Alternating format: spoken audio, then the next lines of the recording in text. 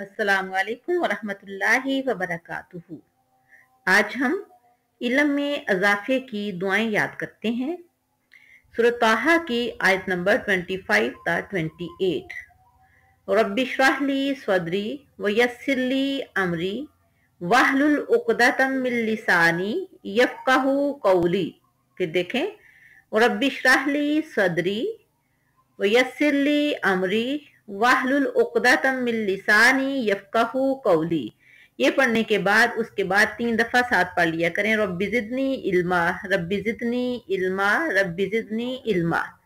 इस दुआ का तर्जुमा है ए मेरे परवरदिगार, मेरा सीना खोल दे, मेरे मामलात आसान कर दे, और मेरी जबान की गिरा यानी लुकनत खोल दे, ताकि लोग मेरी बात को समझ सकें।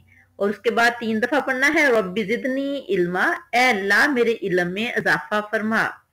अल्लाह ताला से दुआ है कि अल्लाह ताला हमें सही तौर पर इलम हासिल करने की तोफीक अता फरमाए और जो इलम हम सीखते हैं, उस पर अमल पैरा होने की तोफीक अता फरमाए। आमीन। अल्लाह हाफिज।